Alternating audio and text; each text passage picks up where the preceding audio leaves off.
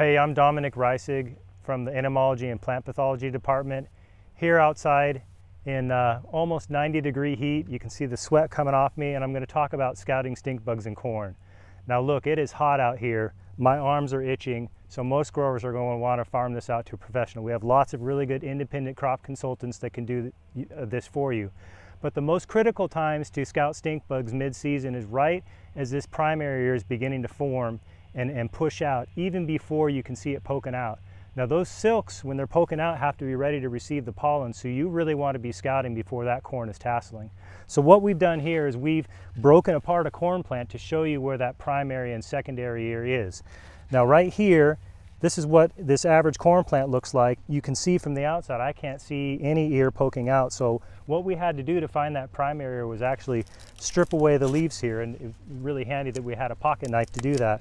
Now what you're going to look for is you're going to look for the largest ear sheath you can find as far up in the plant as you can find it. And you can see, you know, it's not right up at the top of the plant. It's maybe not even midway. It doesn't even come up to my waist. But when we found this here, we knew that this largest ear sheath here was going to be the primary ear, and we knew that this one was going to be the secondary ear.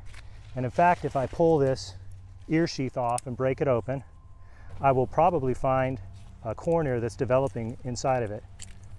This is what I'm trying to protect for from stink bugs. I want to prevent them from reaching this primary ear and causing the deformations here.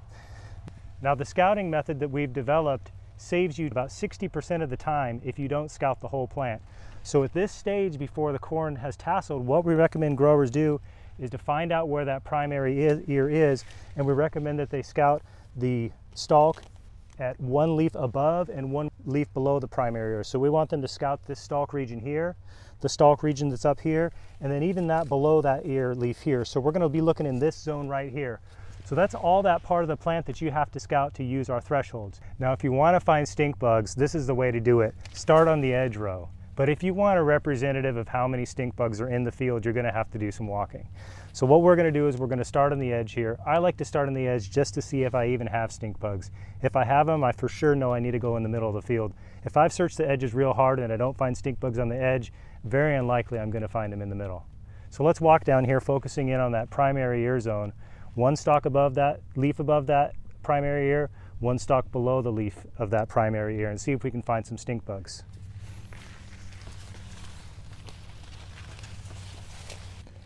Now we found a stink bug using sampling. What I want you to notice is how it's really tucked up in that ear. It's right up kind of where that collar meets the stalk, and that's where you're going to find most of the stink bugs at this time. They're not going to be out on the leaf or exposed. They're going to be tucked up up in there and, and feeding on where that primary ear is forming. So you really have to tune your eyes to find the stink bugs when they're there. But I would count this as one stink bug and then take this number and average it across the number of plants that I've sampled to use the threshold.